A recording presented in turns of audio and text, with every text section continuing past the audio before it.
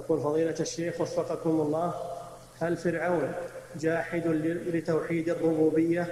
لأنه قد قال أنا ربكم الأعلى وقال أليس لي ملك مصر وهذه الأنهار تجري من تحتي؟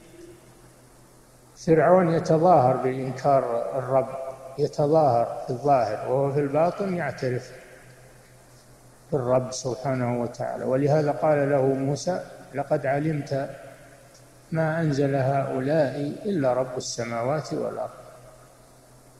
فموسى أقسم لقد علمت إلا موطئ لقسم محذوف مقدر. ما أنزل هؤلاء إلا رب السماوات والأرض. فهذا دليل على أنه معترف في قلبه وقال تعالى في الآية الأخرى وجحدوا بها واستيقنتها أنفسهم ظلما وعلوا. فهم ينكرون في الظاهر وإلا في الباطن وفي قرارة أنفسهم يعترفون يعترفون بالربوبية لله عز وجل. نعم.